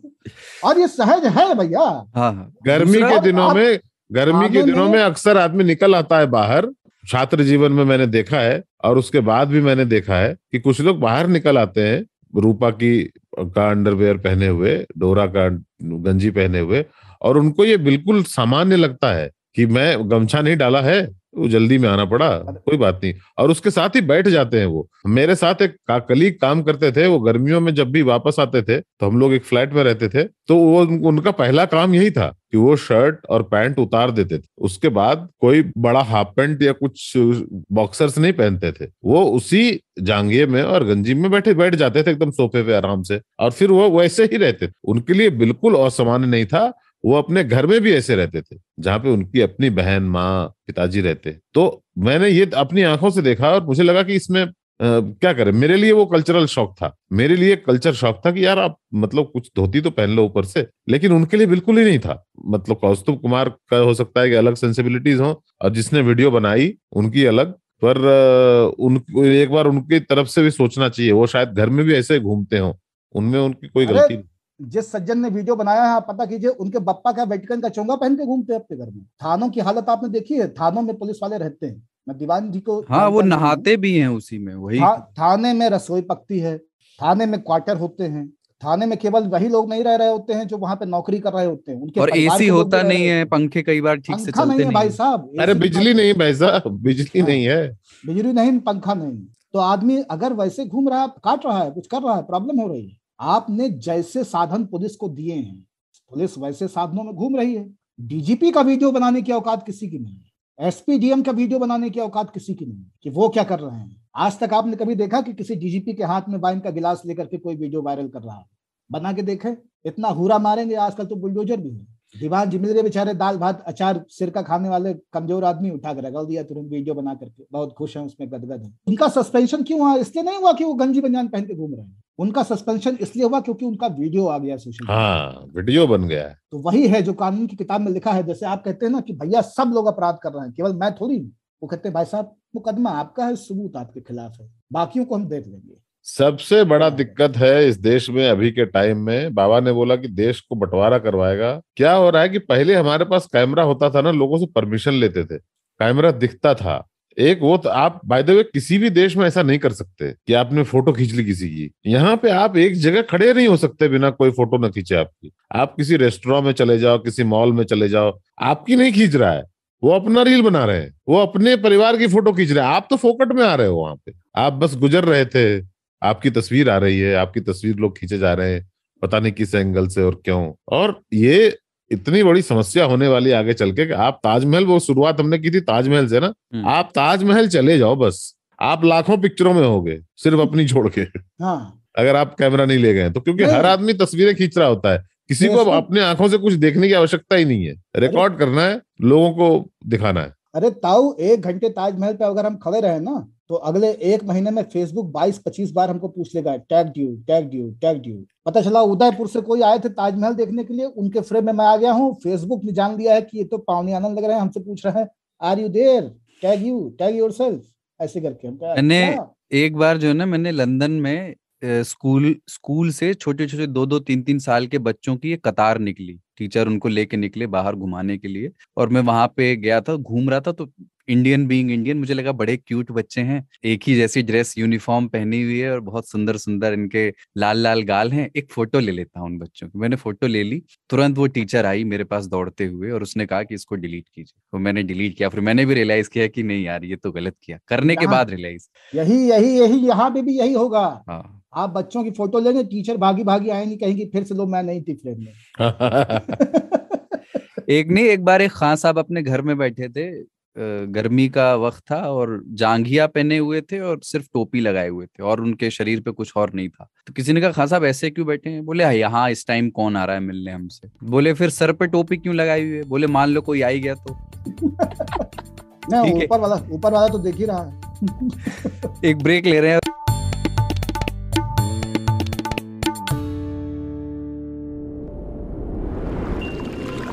बदलते हवा पानी से लेकर इस इकोसिस्टम की कहानी तक। अमीबा पैरामीशियम से लेकर वेल जैसे हैवी प्राणी तक। खेत खलिहान से लेकर आपके घर की बागवानी तक। आपकी हर जिज्ञासा और सवाल का जवाब है अर्थशास्त्र। इस धरती और इसके क्लाइमेट से जुड़ा ऐसा पॉडकास्ट जहाँ आप जानेंगे how to live sustainably and sensibly सुनिए हर शुक्रवार आज तक रेडियो पर मेरे यानी अमन गुप्ता के साथ। तो तीन ताल में अब वक्त है सुनने वालों की चिट्ठियों का, न्योता वाले श्रोता का, और पिछला एपिसोड पब्लिश होते ही सनी कुमार की पहली प्रतिक्रिया आई, और उन्होंने गुस्से में लिखा है कि बोले थे स्पॉटिफाई पे फाइव प्लस रेटिंग देने को, लेकिन आप लोगों को तो कोई फिक्री नहीं है। देख रहे हो ना भाई लोग, आज के तीन ताल को सिर्फ़ तिहत्तर मिनट में निपटा दिया गया। इस पर सिद्धार्थ सराठे ने तुरंत लिखा है कि हमारा हीरो नहीं है आज तीन ताल में। ओहो हो हो। और आनंद तिवारी ने पूछा कौन नहीं है? क्योंकि उन्होंने उस वक्त तक सुना नहीं होगा। तो सिद्धार्थ कहते हैं कि आप सुनना शुरू कीजिए मैं चाहता हूँ कि आपको मेरे बराबर ही दुख हो। एक प्रस्ताव आया पंकज शर्मा जी का हरियाणा वाले पंकज शर्मा जो अहमदाबाद में रहते हैं कि मैं प्रस्ताव रखता हूँ कि ताऊ यदि एक दो दिन के लिए अनुपस्थित हो तो तीन ताल शनिवार के बजाय सोमवार तक स्थगित कर दिया जाए लेकिन आनंद में कटौती न की जाए। बहुत लोगों ने प्लस वन प्लस वन लिखकर उनकी इस बात का अनुमोदन किया है और ध्वनि मत से ये प्रस्ताव पारित कर दिया हाउस ऑफ़ कॉमन्स में क्या क्या हो रहा है देखो। हाँ। एक ऑडियो चिट्ठी आई है विभू की भिवानी हरियाणा से मैं सुनवाता हूँ। सबसे पहले तो बाबा ताऊ और सरदार जी को जय हो। आ, तीन ताल लगभग काफ़ी समय हो गया आप सुनते हुए और एक परिवार सा मालूम होता है। पिछले एपिसोड में तील ताल के तीन ताल के आ, बहुत ही सुंदर तरीके से न्यूक्लियर फैमिली और जॉइंट फैमिली के बारे में डिस्कशन किया गया। मैं पूरा तीन ताल का एपिसोड सुनता रहा और इंतज़ार करता रहा कि बुरारी डेथ का जो केस था जिसके ऊपर नेटफ्लिक्स पे बहुत ही बहुत ही इंटेंस डॉक्यूमेंट्री भी है हाउस ऑफ़ सीक्रेट उसके बारे में बातचीत होगी और उसके बारे में ताऊ बाबा और सरदार के ख्याल के बारे में मालूम होगा। आ, मैं ये जानना चाहता हूँ कि कैसे आ, उस घर में बुरारी हत्याकांड के घर में एक जो लीडर फैमिली का कहा जाता है। चाहे वो एज से ना हो, लेकिन जो ललित उस फैमिली में थे, उन्होंने ग्यारह मेंबर्स की फैमिली में, उन्होंने किस तरीके से बेसिकली जो उस डॉक्यूमेंट्री में दिखाया गया है, एक परिवार बिल्कुल एक आदमी का सब चीज़ मान लेता है आँखें बंद कर कर और हर फैसले को वो मान लेते हैं और उस पर कोई भी सवाल नहीं उठाते। इस इस इस इस संदर्भ में मैं बाबा ताऊ और सरदार से जानना चाहता हूँ कि उनके क्या ख्याल हैं कि कैसे कितना ताकतवर स्थान होता है पर, एक संयुक्त परिवार में। एक लीडर का, और वो किस हद तक बाकी परिवार के लोगों को लेके जा सकता है, इसके बारे में ज़रूर बातचीत की जानी चाहिए। और एक परिवार, एक समाज में क्या स्थान रखता है और एक परिवार के कॉन्स्टिट्यूशन क्या होते हैं, किस तरीके से वो परिवार चलता है, उसके बारे में हाउस ऑफ़ सीक्रेट के संदर्भ में अगर ताऊ बाबा और सरदार अपनी बातचीत रख सके तो बहुत अच्छा लगेगा। मेरा नाम विभू है और मैं भिवानी हरियाणा से हूँ। धन्यवाद।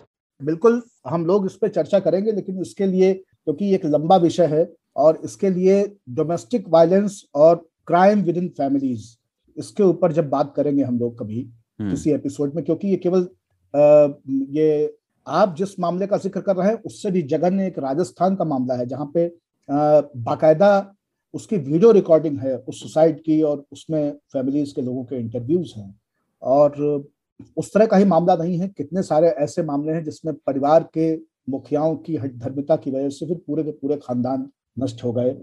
या अदावतें चली हैं जिसमें कि हम लोग देखते हैं कि चौदह साल बाद, दस साल बाद किसी ने बदला लिया है और तीन तीन, चार चार पीढ़ियों से बदला लेने की परंपरा चली आ रही है। तो ये एक अलग पूरा विषय है जहाँ पे कुछ पुरातन पंथी सोचों और कुछ जाति या परिवार के स्वाभिमान से जोड़ के रची बसी चीज़ों को लेकर के और इस तरह से हिंसा होती रही है या इस तरह से अपराध होते रहे हैं और ये कैसे एक कॉम्प्लेक्स कॉम्प्लिकेटेड ज्वाइंट फैमिली का आ, समस्या है। ज्वाइंट एक ऐसा शब्द है जो फैमिली के लिए तो यूज़ होता ही है लेकिन जो लोग नशा करते हैं वो भी जो नशे को भरते हैं ना सिगरेट में उसको ज्वाइंट कहते हैं। तो आप समझ जाइए कि पता नहीं है कौन सा नशा करता है। ऐसा है कि उस दिन भी, भी वो भाई जब हम चर्चा कर रहे थे मेरे दिमाग में एक बार ये सवाल कौंधा था लेकिन जो बुरारी वाली घटना थी वो ज्वाइंट फैमिली या सिंगल यूनिट फैमिली से उसका ज़्यादा लेना देना नहीं था बल्कि इस बात से था कि क्या मानसिक एक्सप्लॉयटेशन जो होता है और मानसिक रोग कैसे संक्रामक हो सकता है इस बात पे ये बहुत बड़ा विषय था तो इसलिए इसको छेड़ा नहीं गया। और आगे ज़रूर हम इस पर एक दिन चर्चा करेंगे जिसमें कि बाबा ने जो केसेस बोले जिसमें कि शुद्ध रूप से अपराध है किसी किसी में इस तरह के मानसिक जो है तत्व भी हैं तो उन सब पर चर्चा करेंगे हम। उस वाले विषय में हम इसको नहीं घुसेड़ना चाहते थे क्योंकि फिर ये चर्चा को दूसरी तरफ़ ले जाता और इसका कोई उस पर डायरेक्ट संबंध नहीं था। बिल्कुल। इसका ज़्यादा ताल्लुक जो है वो साइकोलॉजी है हम्म। कि साइकोलॉजी और रिलीजन इन हम्म। दोनों का ये कॉकटेल है और इसको अलग से हम उसको बहुत सारे साइकोलॉजिस्ट उस केस को अभी भी स्टडी कर रहे हैं। उसके लिए एक टर्मिनोलॉजी इस्तेमाल होती है शेयर्ड साइकोटिक डिसऑर्डर जब वो संक्रमण की तरह एक साइकोटिक डिसऑर्डर एक ग्रुप में या एक फैमिली में फैलता है तो अगली बार जब करेंगे तो जी। मैंने परिवारों में देखा है कि कोई एक व्यक्ति गुरु बन गया है और मैंने लिटरली अपनी आँखों से देखा है कि उस गुरु ने बैठे बैठे तखत पे सामने फर्श पे थूक दिया है और लोगों ने उसे उठा करके प्रसाद की तरह ग्रहण कर लिया है। ये मैंने अपनी आँखों से देखा है मैं इतना घिना गया कि उस व्यक्ति के घर दोबारा नहीं गया जीवन में। लेकिन इस तरह की घटनाएँ हमारे समाज में हैं तो केवल ऐसा नहीं कि केवल लोग हम्म। आत्महत्या कर ले रहे हैं। ये जो डिसऑर्डर है ये मल्टीपल लेवल पे है और क्योंकि ये डिसऑर्डर जो है ये अपने आप में एक यूनिक चीज़ है इसको ज्वाइंट फैमिली या न्यूक्लियर फैमिली से नहीं जोड़ा जा सकता है। करेक्ट इसके ऊपर बात अलग से होगी जब हम इसकी क्रिमिनोलॉजी को समझने की कोशिश करेंगे इसकी साइकोलॉजी को समझने की करेंगे हाँ। कुशाग्र की चिट्ठी आई है विषय बहुत अच्छा आपने दे दिया है और आपने हाँ। एक पुश दे दिया है तो इसके ऊपर बातचीत होगी ज़रूर। हाँ विभू भाई की बड़ी संतुलित और बहुत बहुत सधी हुई चिट्ठियाँ होती हैं, मैंने देखा है दो तीन चिट्ठियाँ इनकी आई अभी। कुशाग्र की चिट्ठी आई है कि स्पॉटिफाई का सब्सक्रिप्शन रिन्यू ना करवा पाने के कारण इस बार मैंने यूट्यूब पर तीन ताल देखा। इसने देखा का इस्तेमाल किया, भले ही उसमें एक इमेज होती है बस। मैंने उसमें ताऊ को मिस किया। पसंद आने वाले हिस्सों के टाइम स्टैम्प्स पर छोटे छोटे टाइटल छोड़ दिए हैं। ब्रैकेट में लिखा है लल्लन टॉप के थंबनेल के जैसे। तो उसमें होता क्या है यूट्यूब ये सुविधा देता है आपको कि आप 20 मिनट 32 सेकंड पे आपको लगा कि एक इंटरेस्टिंग बात हुई है तो आपने टाइम, वहाँ पे उसको क्लिक किया और उसको आपने एक टाइम स्टैम्प लिख दिया, एक लेबल लगा दिया कि यहाँ पर परिवार संयुक्त परिवारों के बारे में बढ़िया एक बातचीत है।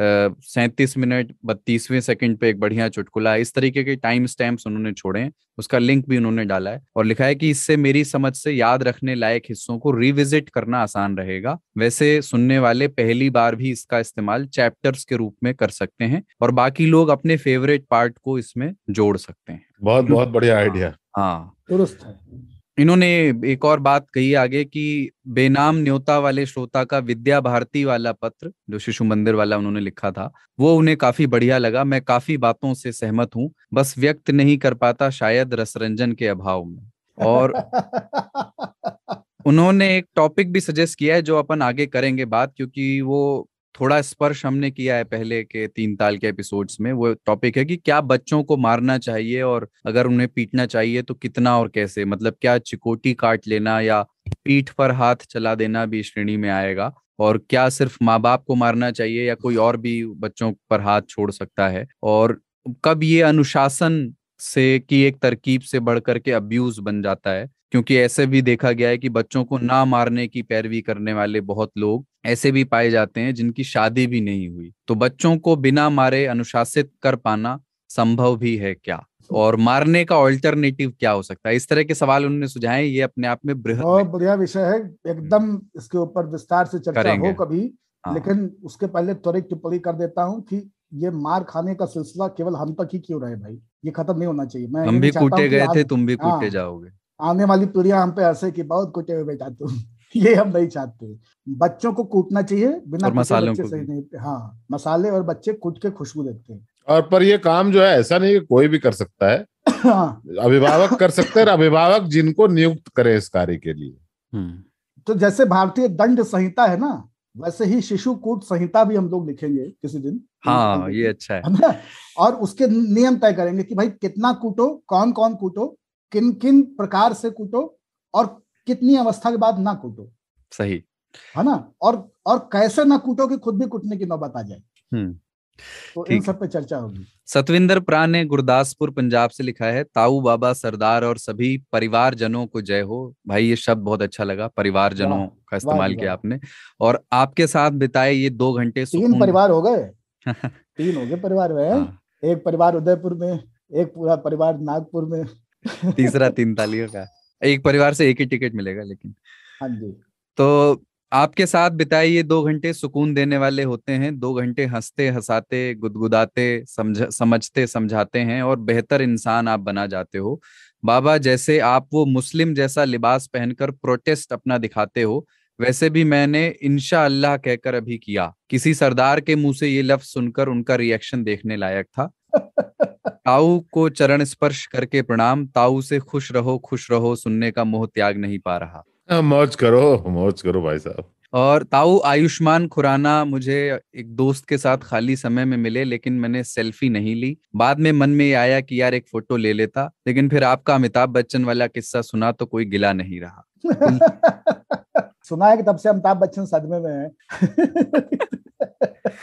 कुलदीप जी आपके जोक्स पहले से बेहतर हो गए हैं पर वो पुरानी वाली बात भी अलग थी। आपके दिए हर विषय पर प्रतिक्रिया देने का मन होता है फिर कोई परिवारजन अपने आप उसको चिट्ठी में लिख देता है। थोड़े दिन में आउट ऑफ़ नेटवर्क रहूँगा। सबकी जय हो सतविंदर सिंह गुरदासपुर पंजाब। जय हो जय हो सतविंदर भाजी जय सिंह हाँ। जितना भी आप बाहर हो नेटवर्क से तीन ताल ज़रूर सुन लेना उसका फिर नेटवर्क से बाहर हो कोई दिक्कत नहीं हाँ। वरना वापस आके सुन लेना हाँ, बैक टू। बैक जय सिंह जो हैं अपने मुंबई वाले तीन तालिए जो ब्रूस वेन उर्फ़ बैटमैन के तखल्लुस से भी जाने जाते हैं उन्होंने अपनी कार में रखी दो पेटी अल्फोंसो आम की तस्वीर भेजी है और ये कहा है कि इस बार के एपिसोड के अंत में मई में आम के आगमन की बात कही गई है लेकिन ये जान लें कि महाराष्ट्र में आम को आए हुए एक महीना हो चुका है। अभी तो रत्नागिरी अल्फोंसो नॉट केसर जैसा कि बोला गया अपने चरम पर है। हाँ जो इनको हम लोग जो बात तुझ में है तेरी तस्वीर में नहीं। नहीं और जय भाई जिनको आप आम बता रहे हो उनको हम लोग आम मानते नहीं है इसलिए हम भी सही है। यहाँ लंगड़ा और चौसा दो ही तरह के आम है लिए। चौसा दशहरी। मैं दशहरी को नहीं मानता हूँ। ठीक है आप आप लखनऊ के पास ज़्यादा रहे हैं तो। दशहरी गरीबों का आम है। आ, इसके अलावा जो तीन तालियों का व्हाट्सएप ग्रुप है उसमें बाबा के कुछ पुराने वीडियो घूम रहे हैं हबीब जालिब वाले और मिथुन कुमार ने उन पर लिखा है कि वीडियो देख के लगता है कि बाबा जब ब्रो थे तब का है। नितिन बाबा थेट ब्रो हैं और हाँ। भी बाबा थे। वही नितिन थेटे ने कहा है कि बाबा की उम्र चाहे जो हो जाए बाबा सदा ब्रो ही रहेंगे। और हर्ष पाठक कह रहे हैं कि बाबा बेस्ट से भी बेटर हैं। तौबा तौबा। बाबा तो इज़ प्रो एक बाबा तो इज़ ब्रो एक तो घी ऊपर से गाय का और वो भी पतंजलि की तौबा। कन्हैया कुमार एक- की। एक हाँ। चिट्ठी मेरे पास भी आई हुई है सनी कुमार की सनी भाई की। और वो चिट्ठी लेकिन तीन ताल पे नहीं आई है वो दिन भर के एपिसोड पे आई है। दिन भर का एपिसोड मंगलवार का जिसे प्रस्तुत किया सरदार ने कुलदीप बाबू ने। और उसमें उन्होंने हमारी और कुलदीप की बातचीत सुनी पंडित शिव शिव कुमार शर्मा पर जी। हाँ उनके देहांत पे जो हम लोगों ने बातचीत की उनके बारे में। और उसके बाद में उन्होंने वो माउंटेन वाली सीरीज़ सुनी और उनको उनके पत्र में उन्होंने बताया कि और वो उन्होंने उनको पता नहीं कहाँ से हमारा आज तक वाला ईमेल आईडी मिला। तो उसमें उन्होंने पत्र अंदर लिफाफा खाली है। वो पोस्ट कार्ड जैसी चिट्ठी जिसमें सब्जेक्ट में ही सारा बात लिखा हुआ है। अच्छा। हाँ तो सब्जेक्ट में ही उन्होंने लिख के भेजा है कि भैया सुना और सुन के बहुत सुकून मिला। हाँ। हाँ। वैसे वो है वो अ, मैं कोशिश करूँगा कि इसका चूँकि ज़िक्र हो गया है तो अपन जब ये तीन ताल पब्लिश करेंगे तो आज तक रेडियो की हमारी जो वेबसाइट है आज तक डॉट इन वाली पॉडकास्ट डॉट आज तक डॉट इन उसमें मैं ये लिंक डलवा दूँगा और सबसे आखिर में है काउंटर भी डलवा दूँगा जहाँ से आपको अगर आप पंडित शिव कुमार शर्मा का इंस्ट्रूमेंटल म्यूज़िक वो सुनना चाहते हैं और उस पर बाबा को सुनना चाहते हैं तो उसका लिंक इसके डिस्क्रिप्शन में अपन डलवा देंगे। कन्हैया कुमार की चिट्ठी है आखिरी आज की वो है कि कुछ दिन पहले तमिलनाडु ये कांग्रेस वाले कन्हैया नहीं है। कुछ दिन पहले तमिलनाडु में duplicate State Bank of India चलाने वाले जो बदमाश पकड़े गए हैं उनके बारे में ग्राहकों का कहना है कि वो ग्राहकों को इतने रूखे और लापरवाही के अंदाज में जवाब देते थे कि ग्राहकों को कभी भी ब्रांच के डुप्लीकेट होने का शक ही नहीं हुआ। शक तब हुआ जब लोगों ने देखा कि वो लोग लंच टाइम में भी काम कर रहे हैं। तो उन्होंने लिखा है तो उन्होंने लिखा है कि तीन ताल में कभी एक टॉपिक स्टेट बैंक के कर्मचारियों पर भी आम नॉर्मल बैंक के कर्मचारियों पर भी हो सकता है। उन्होंने सजेशन दिया है इसको भी ज़रूर हम पूरा करेंगे। अरे इंजीनियरों से हाथ जलाए बैठे हम अब क्या चाहते हो? ये बारी बारी से सबको रुसवा करवाएँगे हमसे। तो तौबा। चिट्ठियाँ आज इतनी ही हैं और आगे की इस एपिसोड पर आने वाली चिट्ठियों का इंतज़ार रहेगा जिसमें जाहिरन बाबा और ताऊ के स्वास्थ्य लाभ की कामनाएँ होंगी। पर मैं ये अपेक्षा रखता हूँ कि जो आज के विषय हैं, उन पर भी आप कहें, ताजमहल से जुड़े आपके तजुर्बे क्या हैं और गिरने और उठने पर जो बातचीत हुई है, उसमें आपकी टीका टिप्पणी क्या है, आपके किस्से क्या हैं, किस्से भेजिएगा जो अपन बेबाक बुधवार में करते हैं ना, किस्से जमा करते हैं और सुनते सुनाते हैं। मैं चाहता हूँ कि तीन ताल की चिट्ठियों में भी बहुत सारे लोग बहुत सारे किस्से हमें लिख करके भेजें तो वो और भी आनंद आएगा पढ़ने में। एक मेरा अनुरोध है तमाम श्रोताओं से तीन ताल के, और जो इस बात को सुन रहे हैं, उनसे अनुरोध है कि अपने बाकी साथियों से भी कहें। पचहत्तर वर्ष पूरे हो रहे हैं आज़ादी के, अभी अगस्त में। हम पचहत्तरवें साल में चल रहे हैं, सन सैतालीस की आज़ादी। और अभी। तो आपके गाँव कस्बे इलाके के ऐसे गुमनाम स्वतंत्रता सेनानी, जिनके बारे में आपने पाठ्यक्रमों में या बड़े आख्यानों में जिनका ज़िक्र नहीं सुना है, उनके बारे में अगर आप लोग कुछ आठ आठ दस दस लाइन की बातें लिख करके भेजें या रिकॉर्ड करके भेजें तो वो एक अच्छी चीज़ हो सकती है। हम एक कोलाज बना सकते हैं इस तरह के क्रांतिवीरों का। और अगर आप ऑडियो में भेजेंगे तो हम उस ऑडियो क्लिप को वहाँ पे इस्तेमाल कर सकते हैं। तो ये एक सुंदर प्रयोग हो सकता है जिसको कि अगर अगले दो तीन हफ़्ते चार हफ़्ते के दौरान तीन ताल के तमाम श्रोता या आज तक रेडियो के तमाम श्रोता और उनके जानने वाले लोग अपने अपने इलाकों से अगर अपने अपने गुमनाम सेनानियों की कहानियाँ भेजेंगे तो एक सुंदर कोलाज हम बना सकते बढ़िया। और ये अपन याद दिलाएँगे अगले एपिसोड में भी आपको याद दिलाते रहेंगे। बिल्कुल। तीन तो ताल के अलावा बाकी के भी कार्यक्रमों में हम लोग ये अनुरोध करेंगे आप लोगों से लेकिन इसको आप लोग गंभीरता से लें। और ऐसे नाम जो आपने पढ़े हैं किताबों में उनके अलावा वालों की मैं बात कर रहा हूँ जिनके नाम शायद आपके गाँव इलाके में लोगों को पता है लेकिन हम नहीं जानते तो ऐसे लोगों को याद किया जाए। ताओ कोई क्लोजिंग रिमार्क दे दीजिए। आज़ादी का अमृत महोत्सव नाम है। नहीं अमृत है ताओ लेकिन ठीक है आप अमृत कह और अमृत कालम भी चल रहा है तो मैं सब लोगों को स्वस्थ रहने की अपनी तरफ़ से शुभकामनाएँ भेज रहा हूँ। बहुत गर्मी है। इतनी गर्मी है कि बीमार पड़ना भी ठीक नहीं है। बाबा पड़ गए हैं मैं भी पड़ गया हूँ। तो कुलदीप स्वस्थ रहे और अपने आप को स्वस्थ रखें और बाकी जितने तीन ताल सुनने वाले हैं कृपया अपने आप को हाइड्रेटेड रखें। बहुत ज़्यादा पानी पिए। खूब पिए। मतलब पानी? पानी। चाहे अमृत अमृत भी पी सकते हैं। बहुत ज़्यादा पानी पिए, जितना हो सके मतलब असंभव टाइप का लगे, सत्तू, इस तरह की जो चीज़ें होती है, वो भी खीरे, जो वाटर रिटेनिंग फल होते हैं, तरबूज, ये सब खाते रहें और कोशिश करें कि इतनी तेज धूप में ना निकले। काम के लिए निकलना पड़ता है, ये मैं मानता हूँ। पर जब तक आवश्यक नहीं हो इसका मतलब अपने काम पर ज़रूर जाए पर अपने आप को बचाते हुए जाए और जितना संभव हो सके बीच बीच में सुट्टेबाजी करने के लिए धूप में ना निकले। कृपया ध्यान रखें बस महीने डेढ़ महीने की बात है इसको निपटाना है बॉस। इसमें क्या होगा आप संभावना यह है कि आपके आपका शरीर कमज़ोर हो जाएगा डिहाइड्रेट होकर और फिर तरह तरह के इन्फेक्शन इत्यादि को आमंत्रित करेगा और कोरोना भी गया नहीं है। इसलिए कृपया अपने आप को सुरक्षित रखें। बिल्कुल और जो लोग कुछ और चीज़ें पी रहे होते हैं और उस वक्त पानी नहीं पीते हैं उनको लग रहा है कि वो पी रहे हैं तो ऐसा नहीं है। अगर आप कुछ और भी पी रहे हैं तब भी पानी पीने पे ज़ोर देकर रखें। हाँ और होपफुली अगला तीन ताल आमने सामने बैठकर स्टूडियो में रिकॉर्ड होगा ताऊ और बाबा दफ्तर में होंगी होंगे। तो मुलाकात होती है चौरासीवे एपिसोड में। जय हो जय हो। जय हो।